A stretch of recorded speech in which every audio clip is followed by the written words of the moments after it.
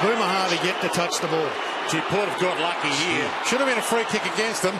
Now they're having a Hartlett shot from 65, and he nails it. It becomes uh, warning signs early, Jared. Brad Scott, he can't just sit back and allow the players to try and turn this around because they haven't got a handle on things at the moment.